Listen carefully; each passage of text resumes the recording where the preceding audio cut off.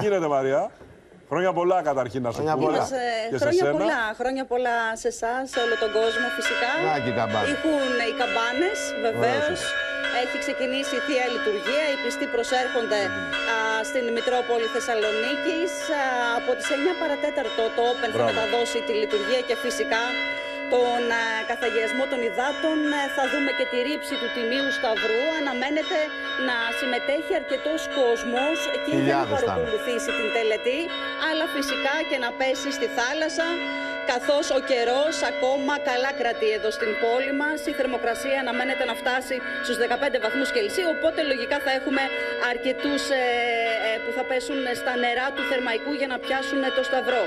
Θα πρέπει να σας πω ότι αναμένεται πλήθος πιστών να έρθει και στο ναό, αλλά και πολιτικές και στρατιωτικές αρχές. Γύρω στις 12 α, τους αναμένουμε και γύρω στις 11 θα ξεκινήσει αυτή η πομπή, αυτή η τελετή ε, με εκατοντάδες Θεσσαλονικής, ενδεχομένως και επισκέπτες από τις γύρω περιοχές. Όλοι οι δήμοι εδώ στη Θεσσαλονίκη ε, θα, Ε, βέβαια. κάνουν, ε, θα πραγματοποιήσουν το έθιμο, είτε έχουν ε, θάλασσα είτε δεν έχουν θάλασσα, όπως ε, γνωρίζετε.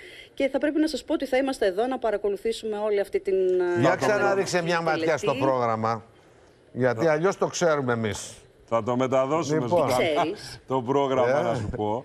Ε, να πούμε επίσης βέβαια ότι ακολουθεί μετά τον ε, καθαγιασμό των υδάτων και την πανηγυρική ατμόσφαιρα κτλ. Έχει ενδιαφέρον και το μετά, Μαρία, βέβαια, έτσι. Έχει να γίνει εκεί Ε, στα πάνε στα στενά της μαγαζιά πόλης, μου. μέσα Και στα τρώνε εκεί, μαγαζιά. αυτό μια χαρά. Ωραία πράγματα έχουν να γίνουν. Λιακάδα μετά. σήμερα, ωραία.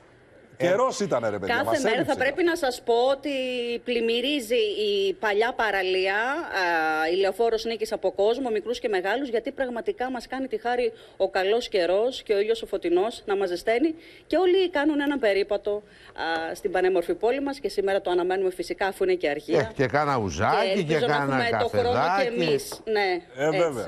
Να περάσουμε όμορφα σήμερα. Εσύ θα, δεν ξέρω πόσο όμορφα θα περάσει, δεν έχεις ρεπορτάζ. Θα περάσεις έτσι, ακροθυγός θα έλεγα. ε. Όχι, ρε παιδί, μετά. Μετά το ρεπορτάζ. Μετά κάποια το στιγμή, ρεπορτάζ, ναι, έτσι, βέβαια. μπράβο. Δεν Μπράβο, φοβάσαι μπράβο. τη Θεσσαλονίκη. Έτσι, Ξέρουν, μεσημεράκι. ξέρουν Ξέρουν να να ζουνε. ζουνε, συμφωνώ. Πρέπει να σας πω ότι ήμουν πρωτοχρονιά Θεσσαλονίκη.